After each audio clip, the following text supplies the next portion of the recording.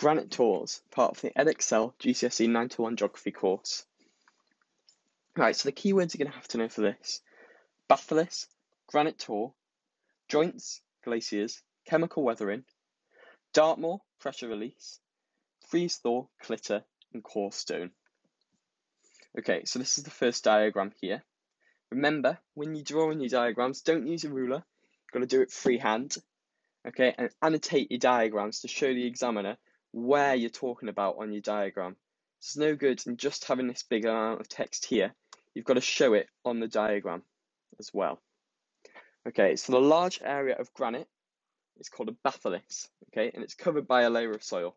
So this bit here is the granite, and this bit up here is the top layer of soil. So that's something that you'd have to annotate on your diagram. Okay, granite is an igneous rock formed by molten rock cooling.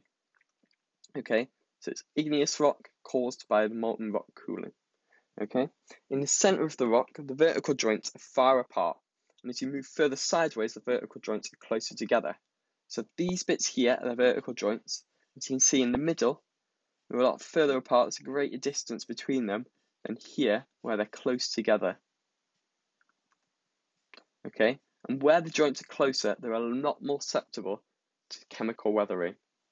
Warm and wet climates, weather the joints at a much faster rate.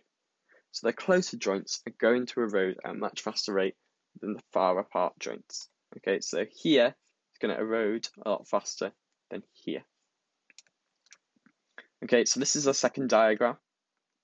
Okay, and the far apart joints erode at a much slower rate, meaning that they are uh, relatively high, whilst the close together joints erode at a much slower rate, leaving them low, uh, at a much faster rate, leaving them a lot um, lower. So you can see these haven't eroded as much as here.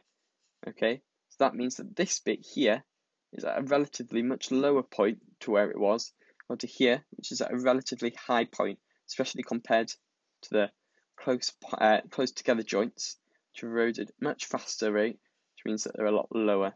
Okay. Then during the ice age, glaciers will have come over and eroded away all of the topsoil. So this is the topsoil, so you're going to have glaciers and they're coming over, and it's just going to get rid of all of this topsoil here. It's going to go away. Okay, and this is going to leave a granite tor, like this.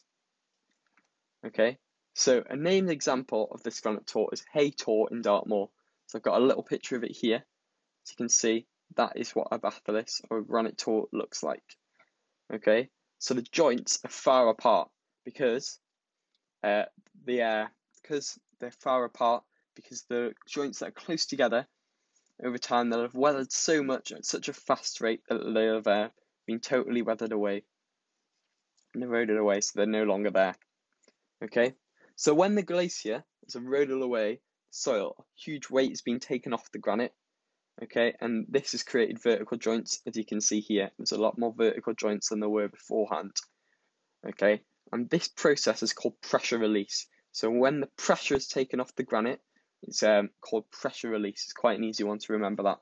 Okay, but that's a really key word. That's a level nine word. So if you can put that in there, you're showing the examiner that you're capable to get a level nine.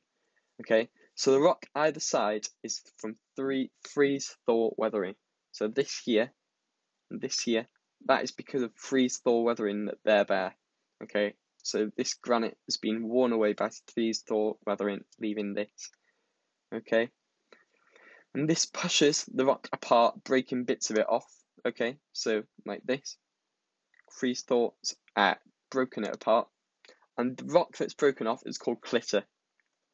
So this proper name for it is clitter, and that is only for granite. So only in granite is this bit called clitter.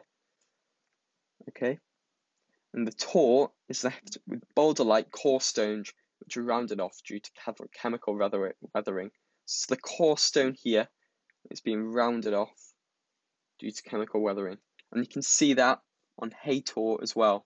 So the vertical joints are far apart, and the one that's furthest apart is much higher. You've got the clear coming down all the hill, coming all the way down the hill, okay, and it's nice and round because of chemical weathering.